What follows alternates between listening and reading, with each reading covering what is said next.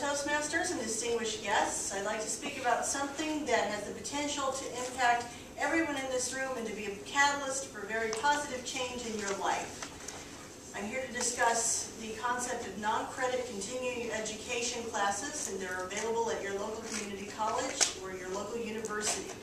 And by the end of this presentation, you will know the importance of continuing education and why everyone can benefit from taking non-credit continuing ed courses.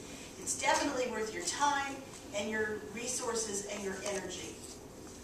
I have a PhD in education and I'm a certified teacher of the visually impaired and after college I took a job with benefits but my dream has always been to teach at the college level. So about a year ago I put together a proposal and I submitted it to Johnson County Community College, and I was told that it would fit into the continuing ed non-credit course system.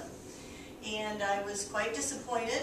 Uh, prestige, of course, uh, to me was teaching a four-credit class with the syllabus and the exams and so forth.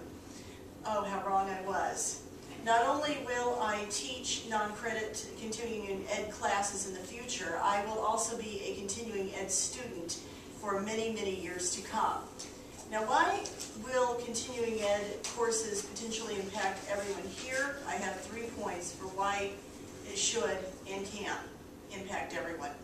First point is, new skills, no pressure.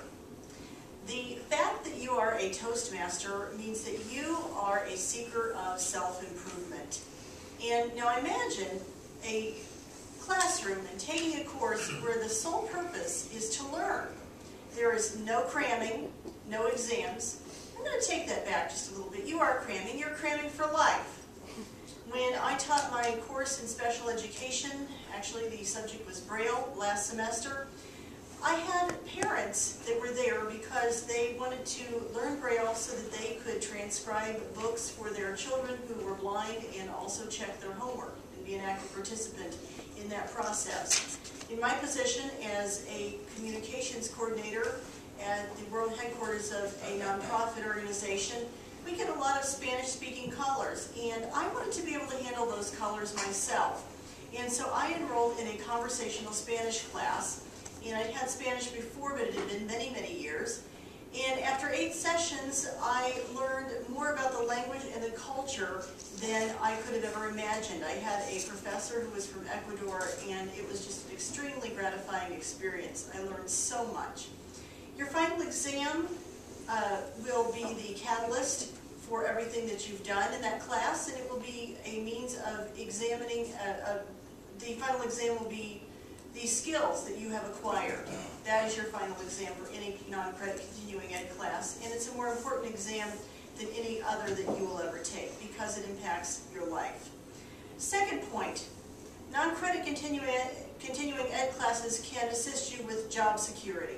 Employers are always looking for workers who have many, many skill sets. And at my workplace, for instance, if you are bilingual, you can make 20% more money in those positions which require a bilingual individual in them. So there are, there are also Braillists uh, positions in school districts for people who know how to transcribe Braille. There are sign language interpreter positions for people who know how to sign in school districts. And you know, you may even get continuing ed credit uh, at work for taking some of these courses. And even though you'll have to take more advanced courses to actually make that happen. It all starts with that first continuing ed class that you decided to take.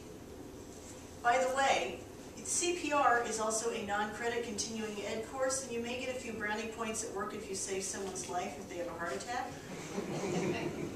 Point three, continuing ed courses are great for your health. Now we all know someone, and we've seen this scenario too many times, you have the empty nest syndrome, you have someone who's widowed or they're single, and then they get to the age where they retire, and suddenly all their plans and aspirations uh, fade away and the loneliness sets in. That's, folks, when you're at the greatest risk for Alzheimer's disease and dementia. And it's very important to keep your mind engaged and keep yourself active. And continuing ed courses that uh, Johnson County Community College anyway cost only $99 for 16 contact hours. It's great for people on a fixed income. You can learn the skill, you can use it to volunteer, and you can use it to interact with the world. So I hope I've convinced everyone why continuing ed courses are of value to each and every one of us in this room. They can enhance your life skills, they can enhance your job security, they can increase your salary range, they can increase your chances of interacting with others, and they can increase your emotional stability. So I urge you to experience continuing education for yourself. Thank you.